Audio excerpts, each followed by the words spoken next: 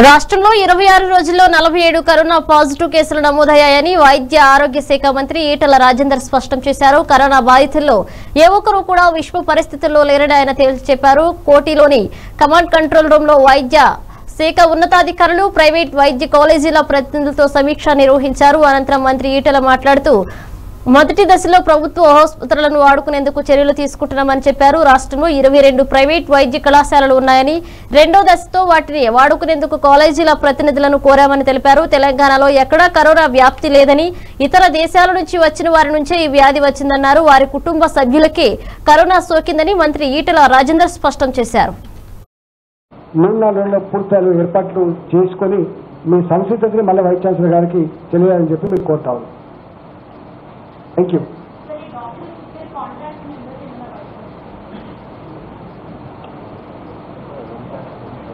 చేస్తున్నాం madam. Details అన్ని కూడా చేస్తున్నాం. ఇప్పటికీ మనకు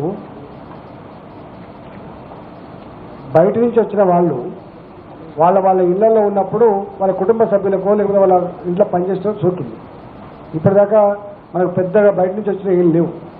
ఇప్పుడు ఇది వచ్చింది దీన్ని చూస్తూ ఉన్నాం. తిరుపతికి వెళ్ళిందని అక్కడ ఇక్కడ వెళ్ళిందని వారిని ట్రాక్ చేస్తూ ఉన్నాం. దాన్ని బట్టి తప్పకుండా తెలుస్తుంది మనకు.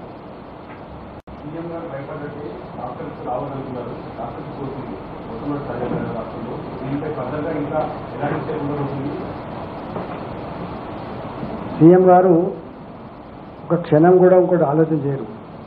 ప్రపంచవ్యాప్తంగా ఏం జరుగుతుంది? దేశవ్యాప్తంగా ఏం జరుగుతుంది? మన రాష్ట్రంలో ఏం జరుగుతుంది? అందరికంటే సేఫ్గా ఎట్లా ఉండాలి? ప్రజలకు భద్రత కల్పించడంలో ధైర్యం కల్పించడంలో ప్రజలకు రేపు ఏదైనా వస్తే ఆదుకోవడంలో ఎట్లుండాలో మీరు చూస్తారు. దేశమే అబ్బురపడే పద్ధతిలో అన్ని రకాల సంసిద్ధతతో ఇవాళ ఏకోన్ముఖంగా ఉన్నటువంటి ఏకైక రాష్ట్రం తెలంగాణ.